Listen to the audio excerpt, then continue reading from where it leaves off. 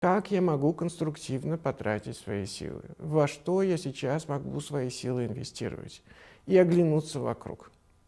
Обязательно оглянуться вокруг. Вокруг вас другие люди, которым тоже плохо, которым тоже больно, которые тоже испытывают негативные эмоции. Вы можете оказать им помощь и инвестировать таким образом свои силы в отношениях с ними.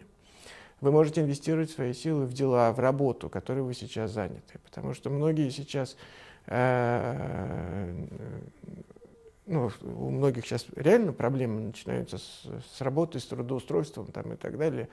А, а многие просто, даже когда у них есть работа, они думают, господи, что я буду решать, когда такие кругом дела.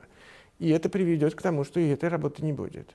И очень важно начать инвестировать сейчас в вашу работу, в то, чем вы заняты. Вообще любая как бы последовательность, настойчивость э, ваших действий, любое ваше стремление, в котором, как бы сказать, есть созидательное начало, это сейчас будет очень хорошая инвестиция ваших сил.